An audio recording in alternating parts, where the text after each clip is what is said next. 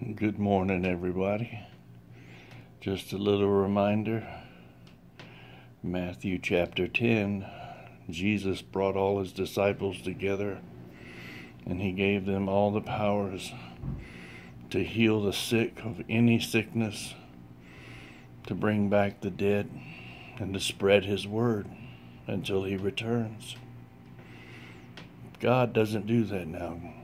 God makes witnesses all over the world. He has miracles happen. And that's their job. Just to spread the miracle that God is still here. And I am one.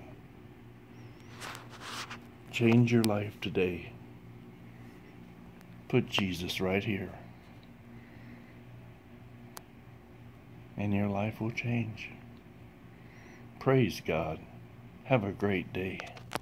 And happy birthday to everybody today. Make today a new day. Amen.